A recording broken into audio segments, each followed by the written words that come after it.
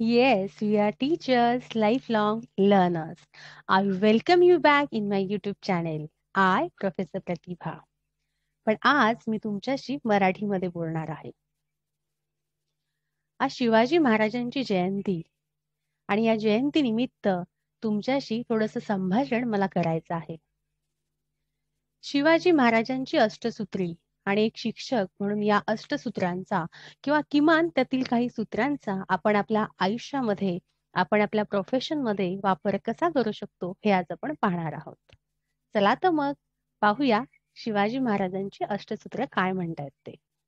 हिंदवी स्वराज्याचे संस्थापक आणि अवघ्या जगानं ज्यांचं कौतुक करावं असे एक उत्तुंग व्यक्तिमत्व ज्यांनी आपल्या मातीत जन्म घेतला आपल्या सर्वांना आपलेसे वाटणारे असे हे शिवाजी महाराज त्यांच्या जयंती. सर्वप्रथम त्यांना आपल्या सर्वांतर्फे विनम्र अभिवादन. ज्या माणसाचं नाव जरी घेतलं तरी अभिमानाने छाती भरून येते गर्वाने मान ताट होते अशा या महाराजांची अष्टसूत्री एक शिक्षक म्हणून आपल्याला आपल्या आयुष्यामध्ये आपल्या व्यवसायामध्ये कशी उपयोगी पडतील हे आपण पाहणार आहोत. चला तर मग पाहूया शिवाजी महाराजांची काही सूत्र जी यश गाठण्यासाठी अतिशय उपयुक्त आहेत. येस जिद्द आणि बुद्धिमत्ता. बुद्धिमत्ता तर ही अनुवंशिक असते ज्याच्यामध्ये आपण काही बदल नाही करू शकत. आपला जो आयक्यू आहे तोच राहणार आहे. पण असं म्हटलं जातं की साधारणतः आपण दिवसभरात ज्या पाच व्यक्तींच्या सहवासामध्ये सर्वात जास्त येतो त्या पाच व्यक्तींचं व्यक्तिमत्व जे असतं त्याचं एक आपण ऍव्हरेज हे आपलं व्यक्तिमत्व घडत असतं. तर आपण आजपासून असं ठरवावे की ठरवूया की आपण संगत नक्की कोणाची करायची. जिद्द ही खूप महत्वाची असते. कुठलीही गोष्ट जिद्द बऱ्याचदा असं होतं की काही जण खूप हुशार असतात पण त्यांच्या आयुष्यामध्ये ते खूप अचीव करू शकत नाहीत. कारण कुठेतरी कमतरता असते जिद्दीची आणि चिकाटीची. सातत्यही हवेच असते. एम्पती आणि सिंपती हे आपण शब्द सर्रास वापरतो. सुरुवातीला आपण असं म्हणायचो की सिंपती दाखवली पाहिजे पण आज आपण असं म्हणतो की एम्पती दाखवली पाहिजे. सो एम्पती म्हणजे काय? की एखाद्या व्यक्तीच्या जागी राहून आपण त्याच्या दृष्टीने विचार करणं. याला आपण एम्पथी असं म्हणतो. जेव्हा एक माणूस म्हणून किंवा एक शिक्षक म्हणून विद्यार्थ्याच्या किंवा आपल्यासमोर किंवा आपल्या आयुष्यामध्ये जी व्यक्ती आहे त्या व्यक्तीच्या जागी राहून आपण विचार करायला लागलो की साहजिकच आपल्यामध्ये त्या व्यक्तीबद्दलचा एक आपलेपणा निर्माण होतो. आणि माणसामधली माणुसकी कायम ठेवायला हा आपलेपणा कायम मदत करतो. तर हे एक आहे शिवाजी महाराजांचं सूत्र जे आपल्या आयुष्यामध्ये आपल्या व्यवसायामध्ये अतिशय महत्वाचं आहे. कारण या ठिकाणी जसं आपण घरातल्या माणसांसोबत घरातल्या व्यक्तींसोबत आपण राहत असतो तसंच आपल्या व्यवसायामध्ये आपण इतर व्यक्तींसोबत आपले जे कलिग आहेत आपली जी हायर अथॉरिटी आहे यांच्यासोबत आपण वावरत असतो. सो म्हणून या ठिकाणी आपण एक त्यांच्याविषयी एक आपुलकी बाळगली पाहिजे आणि माणसातली माणुसकी आपल्यातली माणुसकी ही कायम ठेवली पाहिजे. तुम्हाला भीती वाटते का हो?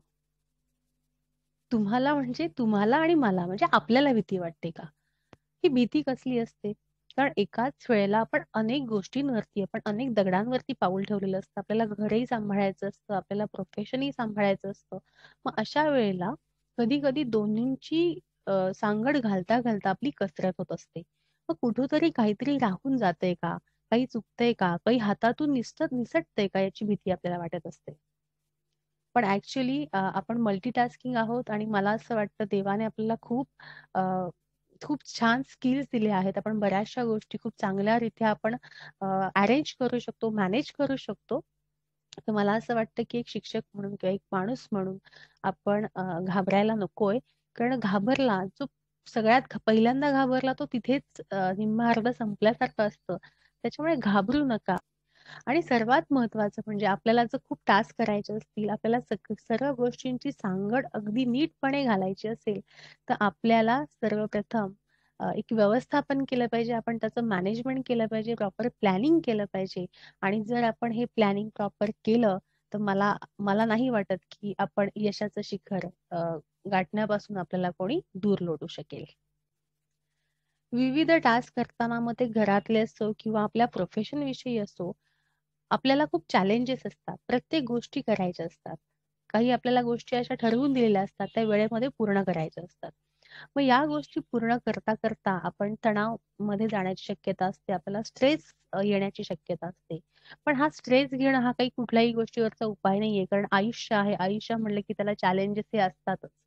मग हे तणाव न घेता जर आपण एक चॅलेंज म्हणून ते घेतलं आणि ते स्वीकारलं तर साहजिकच आपल्यामध्ये एक सकारात्मकता येईल आणि ही सकारात्मकता आपल्याला त्या समस्यापासून कोणती समस्या असो त्या समस्यापासून दूर जाण्यासाठी ते समस्यापासून पुढे जाण्यासाठी आपल्याला मदत करेल. सो कायम एक माणूस म्हणून एक शिक्षक म्हणून आपण तणावमुक्त राहिलं पाहिजे आणि आपल्यामधली सकारात्मक सकारात्मकता त्याला आपण पॉझिटिव्हिटी असं म्हणतो ती कायम ठेवली पाहिजे. असं म्हटलं जातं की साधी राहणी आणि उच्च विचारसरणी असावी.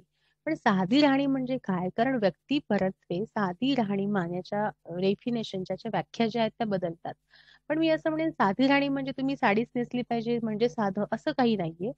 साधी राणी ज्याला आपण डिसेन्सी म्हणतो जे डिसेन्सी असणं खूप गरजेचं आहे. कारण आपलं प्रोफेशनच असं आहे ज्याच्यामध्ये डिसेन्सी असणं खूप गरजेचं आहे. तुम्हाला जे हवं कारण आपण एकीकडे आपण म्हणतो की जग बदलत आहे. मग बदलत्या जगानुसार पण आपण चाललं पाहिजे. बदलत्या जगानुसार आपण बदललं पाहिजे. ओके? सो या ठिकाणी मला असं म्हणायचं उच्च विचारसरणी असणं गरजेचं आहे. कारण आपण शिक्षक आहोत आपण विद्यार्थ्यांचे रोल मॉडेल आहोत आपण जसं असणार आहोत आपल्याला आपले विद्यार्थी फॉलो करणार आहेत. आणि विशेष म्हणजे तुम्ही जे विद्यार्थी शिक्षक आहेत ते पॅरेंट्सही आहेत ते पालक आहेत. आणि बऱ्याचदा असं होतं की जे विद्यार्थी पालकांचं ऐकतात किंबहुना त्यापेक्षा सुद्धा जास्त ते शिक्षकांचं ऐकतात. त्याच्यामुळे शिक्षक एक हा ऊर्जेचा एक प्रेरणाची प्रेरणेचा एक स्रोत म्हणून विद्यार्थ्यांसमोर कायम असला पाहिजे. कारण तुम्ही तुमचं प्रोत्साहन एखाद्या विद्यार्थ्याला अत्यंत उंच शिखरावरती घेऊन जाणार आहे. त्याच्यामुळे कायम एक तर शिक्षकाने स्वयंप्रेरित राहिलं पाहिजे आणि इतरांना जे त्यांच्या सहवासात आहेत मग ते कलिग असतील मग ते विद्यार्थी असतील त्यांना सतत प्रेरणा दिली पाहिजे असं मला वाटतं. माणसाकडे संयम असणं खूप गरजेचं आहे. आज काय होतं मग प्रोफेशनल ट्रेनिंग घेतलेला शिक्षक असो किंवा एखादा डिग्री बाहेर घेऊन बाहेर पडलेला एखादा विद्यार्थी जो पुढे एखाद्या इन्स्टिट्यूशनमध्ये शिक्षक म्हणून जातो. प्रत्येकाला अपेक्षा काय असते की माझ्याकडे ही खूप मोठी डिग्री आहे आणि मला खूप चांगलं पॅकेज पाहिजे. पण मित्र हो, मला असं म्हणायचंय की तुम्हाला सगळं काही भेटणार आहे पण त्यासाठी संयम ठेवा. संयम असणं खूप गरजेचं आहे. आणि एक जिद्द तुम्ही असतं तुमच्यामध्ये जिद्द आणि चिकाटी असणं आणि सातत्य असतं. कोणती कोणतीही गोष्ट सातत्याने करणं स्वतःला अपडेट ठेवणं या सर्व गोष्टी तुम्ही करणार असाल तर साहजिकच तुम्हाला पुढे जाण्यापासून कोणीही रोखू शकत नाही. अशी आहेत ही शिवाजी महाराजांची अष्टसूत्र. अर्थात अष्ट नाही पण त्यातली काही सूत्र जरी आपण आपल्या आयुष्यामध्ये आपल्या प्रोफेशनमध्ये आपण रुजवली तर नक्कीच यशाचं शिखर गाठण्यापासून आपल्याला कोणीही रोखू शकत नाही. पुन्हा एकदा अशा या उत्तुंग व्यक्तिमत्वाला आपण अभिवादन करूया आणि त्यांनी सांगितलेली काही तत्व आहेत ही जी काही सूत्र आहेत ती आपल्या आयुष्यामध्ये आपल्या व्यवसायामध्ये आपण रुजवण्याचा नक्कीच प्रयत्न करूया. तर या शिवाजी महाराजांच्या जयंतीनिमित्त तुमच्यासोबत संवाद साधण्याचा आणि त्यांच्या त्यांच्या विचारांची विचारधारा तुमच्यापर्यंत पोहोचवण्याचा माझा हा एक छोटासा प्रयत्न. धन्यवाद.